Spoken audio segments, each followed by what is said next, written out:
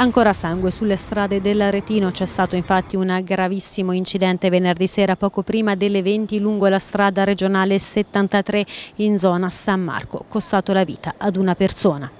Un tremendo schianto, il secondo nell'arco di sole 24 ore nel pomeriggio lungo la 1 tra Monte San Savino ed Arezzo. Un 24enne era morto dopo essersi schiantato con il suo furgone contro un camion. Nel tardo pomeriggio un'altra vita spezzata. Attorno alle 19.45 alle porte della città una moto si è infatti scontrata contro un'automobile. Tre le persone coinvolte, due 33enni ed un 35enne, tutti residenti nel comune di Arezzo. A perdere la vita Enrico Chini di 33 anni al momento dello schianto stava viaggiando in sella alla propria moto, poi l'impatto improvviso, un urto tremendo che lo ha scaraventato a metri di distanza. Per lui non c'è stato nulla da fare, è morto sul colpo. La vittima, appassionato motociclista, lascia adesso una bimba piccola. Ricoverati all'ospedale San Donato di Arezzo invece il conducente e il passeggero dell'auto che hanno riportato vari traumi al cranio, al volto e agli arti. Sul posto, oltre al personale del 118 e i vigili del fuoco è intervenuta la polizia municipale che ha provveduto ad eseguire i rilievi di legge e con il supporto della polizia di Stato